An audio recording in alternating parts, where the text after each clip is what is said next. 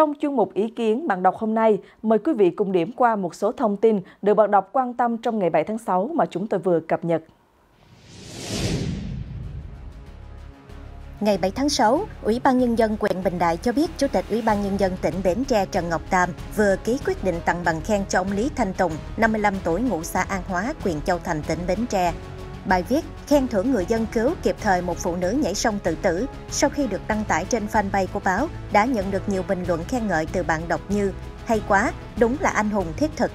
Một bình luận khác cho rằng xã hội cần lắm những người như anh. Mới đây, sau khi bno.vn đăng tải bài viết Lương hưu của tôi đã tăng gấp 10 lần so với lúc nghỉ hưu, kể về việc ông Đinh Thế Phong, ngụ ở Quảng Bình, khi nghỉ hưu chỉ nhận mức lương 370.000 đồng. Tuy nhiên, đến nay lương của ông đã tăng lên hơn 3,4 triệu đồng. Bài viết ngay lập tức đã nhận được nhiều ý kiến từ phía bạn đọc như nếu được vậy thì xin chúc mừng bác trong câu chuyện trên. Một bình luận khác nói rằng mong rằng sau này mình cũng được như vậy. Bạn có video hấp dẫn.